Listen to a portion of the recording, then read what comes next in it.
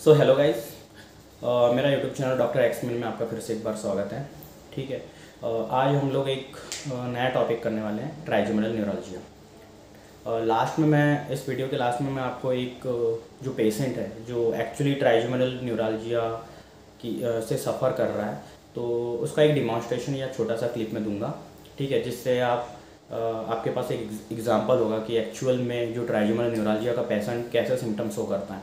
ठीक है?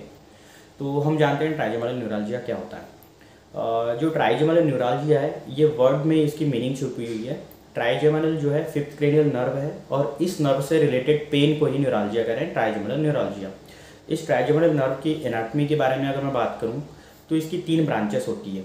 एक ऑप्थेलमिक ब्रांच होती है, एक मैग्जिलरी ब्रांच होती है और एक मैंडिबुलर ब्रांच होती है। ये ब्रांच ऐसे ही जाती है, हमारे कान के पीछे से जस्ट आ करके ये तीन पार्ट में ऐसे डिवाइड होती है। तो जो ट्राइजमल न्यूरालजिया है, हमको इसके ये तीन ब्रांचों के बेस पे ही इसके सिम्टम नज़र आते हैं साइन एंड सिम्टम्स नज़र आते हैं, ठीक है? तो ये ये ट्राइजमल न्यूरालजिया इसको हम कहते हैं। अगर हम इसके एपिडेमियोलॉजी की बात करें, एक ईयर में total number of trigeminal neuralgia के केसेस निकालें हम तो एक लाख लोगों में से, मुश्किल से चार से लेकर के तेरह लोगों को ये अफेक्ट करता है तो ये बहुत ही रेयर डिसीज़ है, ठीक है? अब हम इसके जो ट्राइजमल न्यूरल ट्राइजमल नर्व है फिफ्थ क्रेनियल नर्व इसके वर्क के बारे में बात करें कि भैया ये नस जो है नर्व जो है, ये का, क्या काम करता है? तो ये जो ट्राइजमल नर्व है, ये अपने ब्रांचिंग के अकॉर्डिंग मतलब ये ऑप्थेलमिक ये मैग्जिलरी और एक मैंडिबुलर तो इसके अकॉर्डिंग इसके काम होते हैं, ठीक है? और इन्हीं से ही रिलेटेड इनका जो है सिम्टम होता है साइन सिम्टम इसमें, इस डिसीज में। तो जैसे कि सेंसेशन जितने भी प्रकार के सेंसेशन है हमारे फेस के ऊपर के, कि टच का सेंसेशन है ना? टेम्परेचर का सेंसेशन या पेन का सेंसेशन ये कैरी करता है ट्राइजमल नर्व ये इनकी ब्रांचेस और ये ब्रेन तक के पहुंचाता है, ठीक है? देन चीविंग के लिए जो हमारे मासेटर मसल मसल की जो एक्टिविटी होती वो भी इसी ट्राइजमल नर्व की ये मैंडिबुलर ब्रांच से जो है रेगुलेट होती है, ठीक है?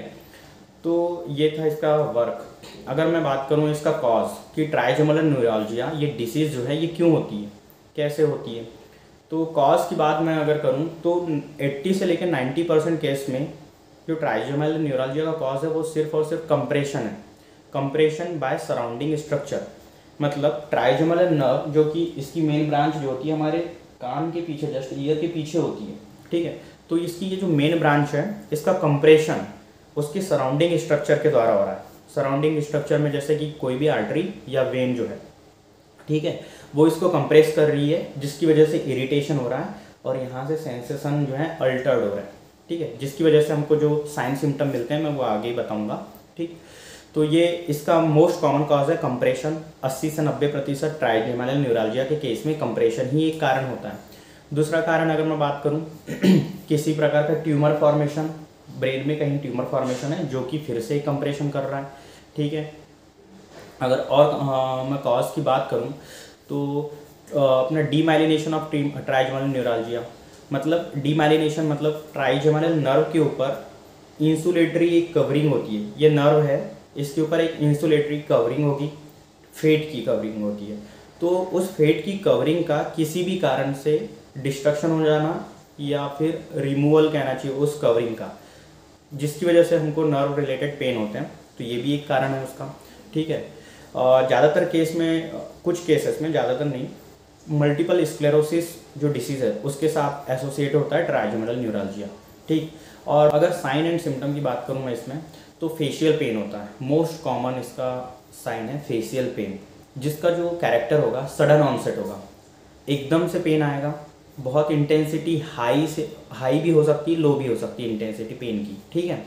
पेन का जो कैरेक्टर होगा, वो शार्प होगा शूटिंग होगा इलेक्ट्रिक जो करंट होता है, उसके जैसे भी हो सकता है एक्सक्रूशिएटिंग चीर देने वाला पेन एकदम।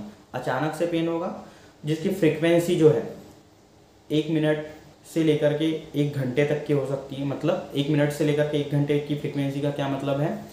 एक मिनट में दो चार बार आ गया, एक घंटे में दो चार बार आ गया, ठीक है?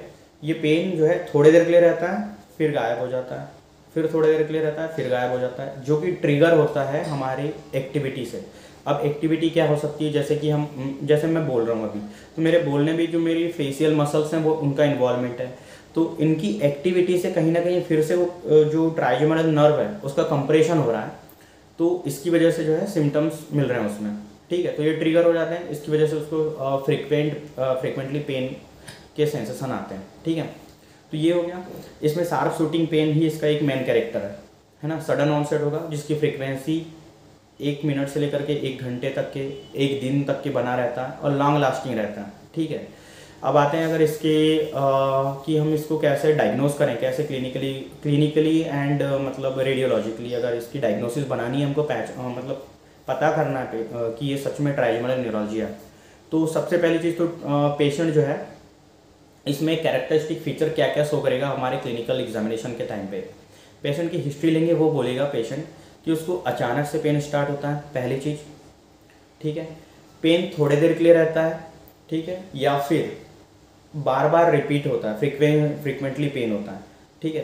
पेन जो होता है मोस्ट ऑफ़ द केसेस में ट्राइजमल न्यूरोलॉजिया के केस में पेन जो होता है यूनिलेटरल होता है। यूनिलेटरल का मतलब किसी भी एक साइड या तो राइट साइड या फिर लेफ़्ट साइड ठीक है? तो किसी एक साइड का पेन जो होता है यूनिलेटरल इसमें पेन होता है, ठीक है? एक साइड को अफेक्ट करता है मोस्टली ठीक? पेन पेन के साथ साथ जो पेशेंट कहेगा कि ये ट्रिगर कैसे होता है? मतलब जो पेन होता है, वो स्टार्ट कैसे होता है? कि जब भी वो खाना खाता है, बात करता है, या फिर कोई भी फेशियल एक्टिविटी करता है तो उससे इसका जो है पेन पेन स्टार्ट होता है। तो ये अपन इससे थोड़ा आइडिया लगा सकते हैं क्लिनिकली लेकिन हमको कन्फर्मेटरी डायग्नोसिस बनानी है, ठीक है? कन्फर्मेटरी डायग्नोसिस के लिए कन्फर्मेशन के लिए हमको रेडियोलॉजिकल एग्जामिनेशन की ज़रूरत होती है। तो हम इसके लिए एमआरआई करते हैं पेशेंट का। तो एमआरआई में हमको समझ में आ जाता है कि कहाँ कंप्रेशन है और क्या कारण है इसका। अगर कोई ट्यूमर फॉर्मेशन है या फिर किसी आर्टरी या वेन से अगर कोई कंप्रेशन हो रही है यहाँ पे तो वो हमको समझ में आ जाता है, ठीक है? तो इसमें मैं बताऊँ जो आर्टरी होती है मोस्ट कॉमनली आर्टरी जो होती है इसमें जो कि इन्वॉल्व होती है प्रेस करती है ट्राइजोमल नर्व को, वो होती है सुपीरियर सेरेब्रल आर्टरी ठीक है? मोस्टली जो भी ट्राइजोमल न्यूरालजिया का पेशेंट मिलेगा, उसमें अगर वो कंप्रेशन कॉज है उसका, ठीक है? इस डिसीज़ का अगर कंप्रेशन कॉज की कॉज है तो उसमें मोस्टली केसेस में हमको सुपीरियर सेरेब्रल आर्टरी का इन्वॉल्वमेंट मिलेगा कि सुपीरियर सेरेब्रल आर्टरी जो है, उसको कंप्रेस कर रही है।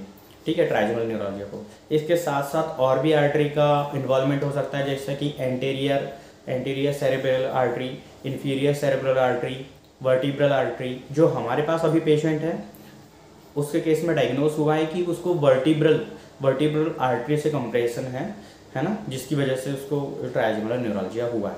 जब इसके ट्रीटमेंट पार्ट पे आऊँ मैं तो ट्रीटमेंट में इसका अगर मेडिसिन के थ्रू जाते हैं तो मेडिसिन में कार्बामेजिपाइन ऑक्जा कार्बामेजिपाइन जो होते हैं, ये दो ग्रुप होते हैं। रेयरली लेकिन इसमें जो है रिलीफ जो होता है, एकदम माइल्ड केस में ही रिलीफ मिल सकता है। इसके परमानेंट ट्रीटमेंट के लिए या परमानेंट क्योर के लिए इसमें इसकी न्यूरो सर्जरी होती है, ठीक है? तो न्यूरो सर्जरी में क्या होता है? एक टेफलॉन मेस इम्प्लांट करते हैं। टेफलॉन मेस इम्प्लांट क्या होता है? टेफलॉन जो होता है, एक स्पॉन्ज लाइक थिंग होता है, ठीक है? स्पॉन्ज लाइक थिंग जो कि, क्या करते हैं उसमें? स्पॉन्ज जैसे एक सब्सटेंस होता है, जिसको जो ट्राइजमनल ट्राइजमनल ये सपोज़ ट्राइजमनल नर्व है। अब ये कंप्रेस हो रही इस आर्टरी से, है ना? तो जैसे हमारे पास पेशेंट है तो मैं इसका एग्जांपल दे रहा हूँ कि उसकी ये ट्राइजेमिनल नर्व है। ये वर्टिब्रल आर्टरी से कंप्रेस हो रही है तो हम क्या करेंगे? मतलब न्यूरोसर्जन ये करेगा कि टेफलॉन जो है टेफलॉन एक स्पॉन्ज लाइक थिंग है, उसको हम ऐसे ही, इसके बीच में जहाँ से कंप्रेशन हो रहा है, वहाँ पर इम्प्लांट कर देंगे, है ना? तो जो इसका कंप्रेशन है ट्राइजमल नर्व का जो कंप्रेशन है, वो नहीं हो पाएगा, ठीक है? कंप्रेट कंप्रेशन की वजह से जो इरिटेशन हो रहा था पेशेंट को, वो नहीं होगा, ठीक है? तो टेफलॉन में जो प्ला इम्प्लांट है, इसमें स्पॉन्ज इम्प्लांट है ना स्पॉन्ज लाइक सब्सटेंस होता है टेफलॉन तो उसका इम्प्लांट इसका कन्फर्मेटरी ट्रीटमेंट होता है। बट इसके भी अपने कुछ साइड इफ़ेक्ट होते हैं, ठीक? तो ये था ट्राइजमल न्यूरालजिया के ऊपर ये वीडियो अगर आपको और भी कोई इन्फॉर्मेटिव वीडियो चाहिए रिलेटेड हेल्थ तो आप मेरे को कमेंट करें। मैं बिल्कुल उस पर एक वीडियो बनाऊँगा। अभी मैं आपको उस पेशेंट से मिलाता हूँ जो ट्राइजमल न्यूरालजिया से। सफ़र कर रहा है। ठीक है? तो ये हमारे पास पेशेंट है ट्राइजमल न्यूरालजिया का केस है इनका। आ, मैंने जो इनकी क्लिनिकल एग्जामिनेशन के समय जो हिस्ट्री लिया था तो वही हिस्ट्री मैं फिर से लूँगा। तो ये अंकल हमको बताएँगे कि इनको किस प्रकार का पेन होता था। ठीक है? तो अंकल ये बताओ आपको किस साइड पेन होता है पहले ये बताओ? तो इनको लेफ़्ट साइड का ट्राइजमल न्यूरालजिया है। ठीक है? तो पेन में क्या क्या होता था अंकल आपको? करता था कभी कभी यानी हम्म। हम्म हम्म। मैंने जैसे बताया था कि ट्राइजमल न्यूरालजिया के केस में जो है मोस्टली जो इन्वॉल्वमेंट होता है मैंडिबुलर रीजन का होता है, इस रीजन का, है ना? जो मैंडिबुलर नर्व का सप्लाई होता है, यहाँ तक के होता है। सेकेंड नर्व जो होती है मैगजिलरी यहाँ तक होता है, ठीक है? और थर्ड नर्व जो होती है, वो ऑप्थेल्मिक जाती है।